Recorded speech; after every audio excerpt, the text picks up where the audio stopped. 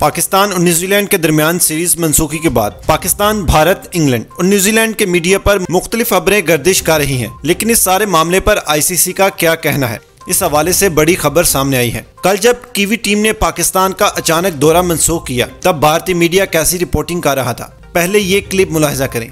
और New Zealand cricket team ने सुरक्षा कारणों का हवाला देते हुए पाकिस्तान का दौरा रद्द कर दिया है। कीवी क्रिकेट बोर्ड ने रावलपिंडी में पहला वनडे शुरू होने से 30 मिनट पहले ये फैसला लिया। इस दौरे को रद्द होने से रोकने के लिए पाकिस्तान के पीएम इमरान ने कई कोशिशें की, लेकिन हर कोशिश नाकाम रही। न्यूजीलैंड को देखते हुए अब इंग्लैंड क्रिकेट बोर्ड भी अपनी टीम का पाकिस्तान दौरा रद्द कर सकती नाजरीन, दौरा मनसूखी पर पीसीबी चेयरमैन रमीज राजा का सख्त रद्दमल सामने आया है। इस हवाले से आईसीसी का क्या कहना है? नाजरीन, इस सारे मामले पर आईसीसी अभी तक खामोश तमाशाई बना हुआ है। अब देखते हैं आने वाले दिनों में आईसीसी और पीसीबी इस हवाले से क्या करती है।